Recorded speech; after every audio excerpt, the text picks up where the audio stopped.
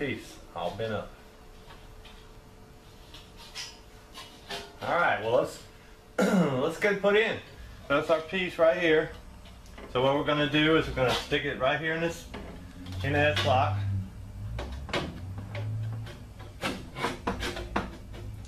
So there's our first piece, like so. Okay, just like so. Um, now, what you would do, though, is you would actually slide that piece in from the side. Um, but, you know, we're just making it easy on ourselves because there's no coil here. So, you see we're lined up over there, and we're lined up right there. So that's our three inch offset. So now we get to continue uh, with our measurements. Now, remember, if you've been sticking with this series all this time, you know now that the side isn't, we don't have to make a flange. It's going to be raw. And remember what we said about raw is there's no flange on it. So let's get set up and get the measurements for that. We're going to start with this back side, with this left hand side of the furnace first, and then we'll go do a right hand, and then we'll make our front. Alright, so now we're ready to make our side measurement. So all we got to do with the side is we have to measure from the top of the S-lock, um, take our folding tongs and bend this down a little bit to kind of make it straight. Like so. And then what we can do is we can lay our level across the top, like so. And then, uh, then we'll get our measurement.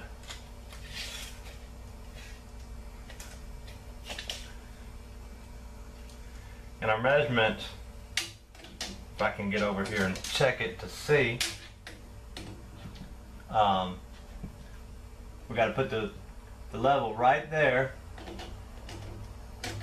and you can't see it because it's uh, actually six inches.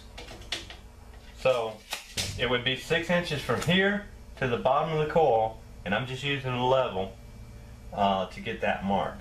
Because remember, there's there should there should be a coil here, so that's six inches. Okay, so let's get our little pin out and start doing our little line. So, um, do that there, and the top stick back further than the bottom, right? Okay. And then uh, let's see what the bottom measurement is. bottom measurement is 20 inches. So the bottom is 20 inches.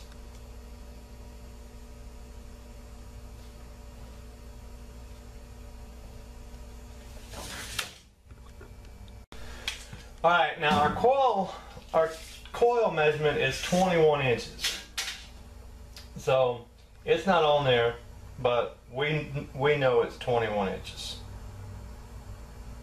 Okay, so that's 21. There you go. And then, really, now we still need to do an offset, which that's really easy to get because all we have to do is just measure from here to our wall. and that is two and a half inches. So we have a two and a half inch offset from from the top to the bottom. So there you go. So that's two and a half inches. All right. So we know that we have to have uh, six inches, right? So we need to start with our centerpiece here. So, um,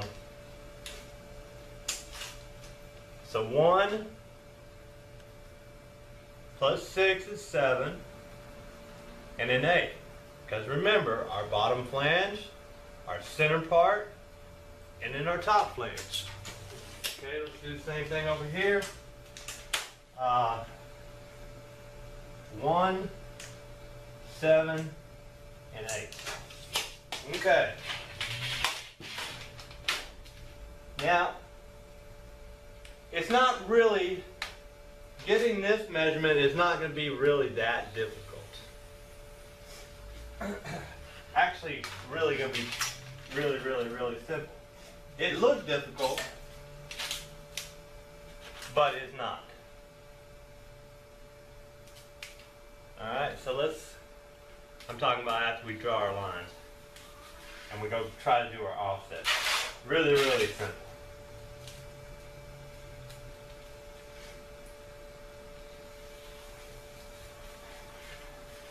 Alright, so that's our that's our lines there. Okay. Now, here's the deal. Our top is 21 inches. And our top is totally against the wall. We know that, right? So we go 21 inches. Alright, so that's our line right there. 21 inch.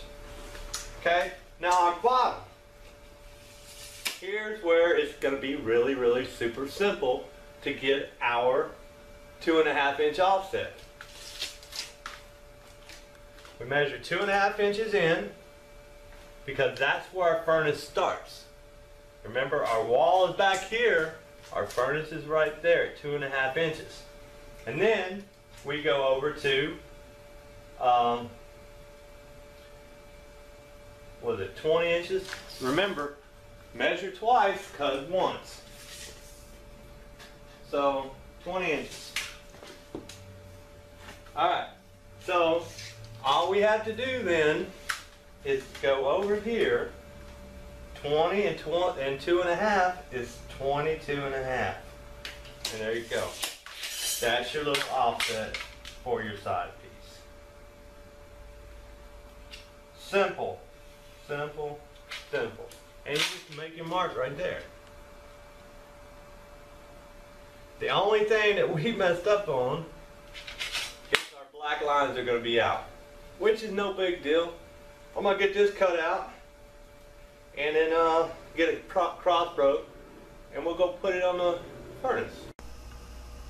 Alright, so we're over at the furnace now. We got our piece done and we're ready to put it in place.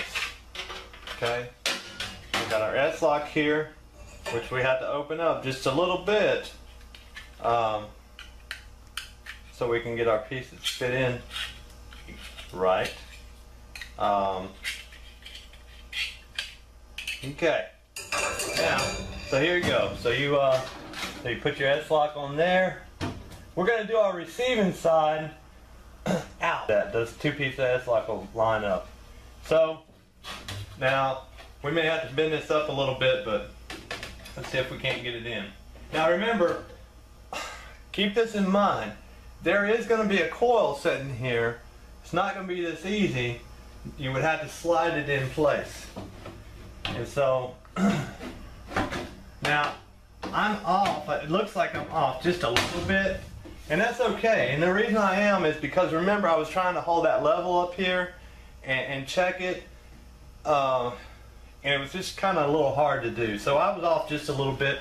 But that's okay. I don't really, I don't care because this is just, you get the picture, and we're actually not bad. So there you go. And then our piece here is lined up with the front. Um, don't try that. So that's lined up with the front now. And then, uh, so now what we're going to do, and now, I always start with the side, like I said, I'm going to reiterate. There's a coil setting up here. It's not that easy to get in here.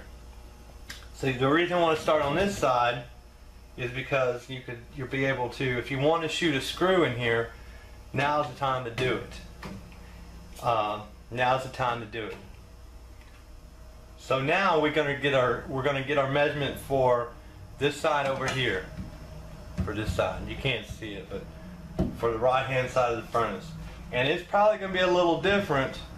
The total length, the total height is going to be a little different from um, from what this side is because our angle, remember, we're at two and a half inches or three three inches on this side and three and a half on that side.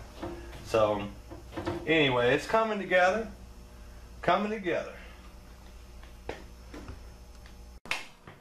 Alright, before we get started putting our um, getting our measurements and stuff on this on the right hand side of the furnace, what we're going to do is we're going to put a piece of S-Lock in.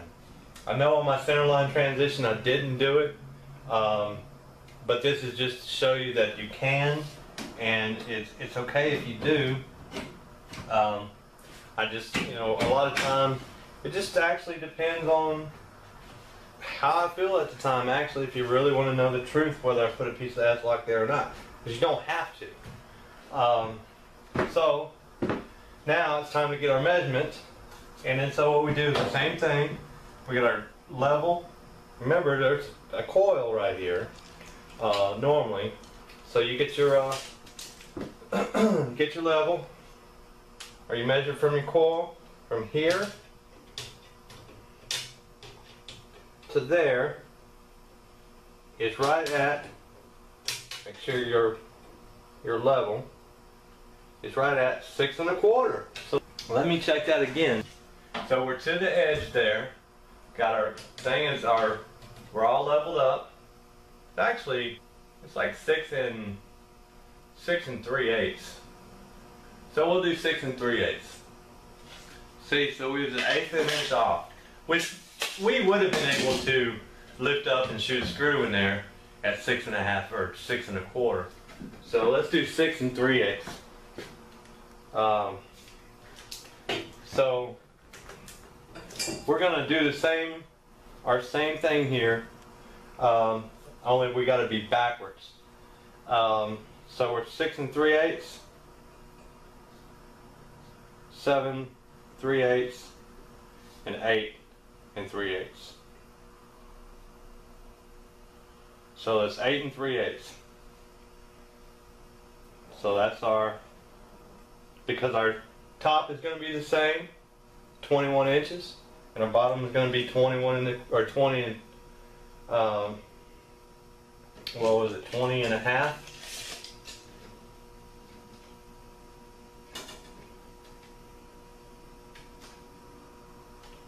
A 19 and a half. Sorry.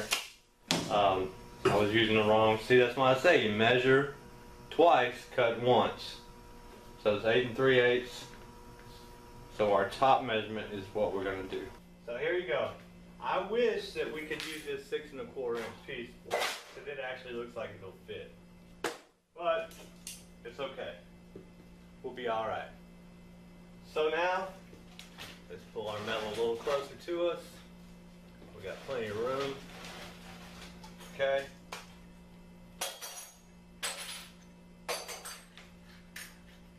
So, same thing applies. This never changes. so we got our one inch, our seven and three eighths, and then our eight and three eighths. Okay? Same thing over here. One inch, seven three eighths, eight and three eighths.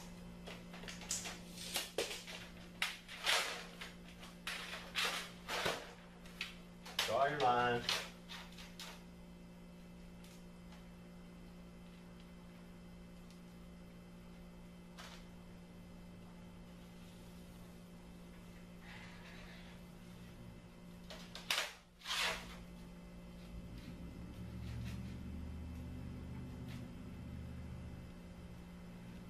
Get them measured up there, or straightened up, lined up, whatever you want to call it. Make a line. Same thing over here. Top.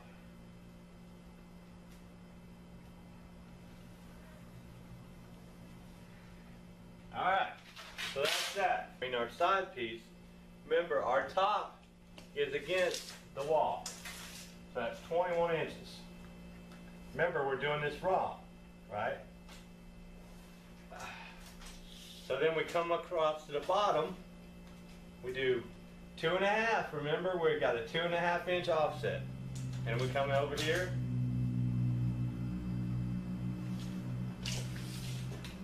Let me measure again.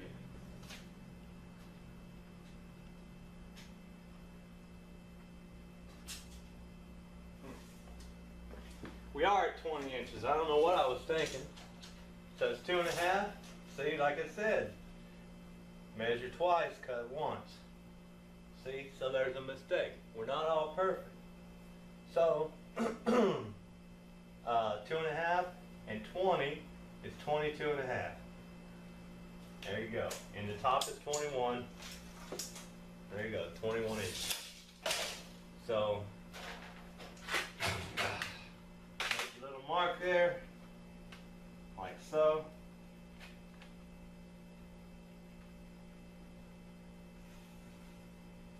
Like so. Same thing over here. Make your little mark.